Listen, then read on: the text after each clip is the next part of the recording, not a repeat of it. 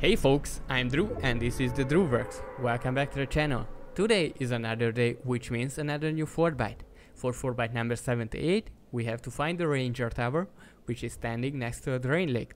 If you say drain lake, then I can't think of anything guys Then Loot Lake, which one changed a lot in season 8 when the excavation has started. Now, as you can see, the water is totally missing from the middle of the area where we found the vault. So I'm sure the Drain Lake should mean Loot Lake in the challenge description. And the Ranger Tower. When you are landing, you can miss this not too high wooden tower, which one is exactly standing next to Loot Lake. As I know, this tower is standing here from the beginning of the game.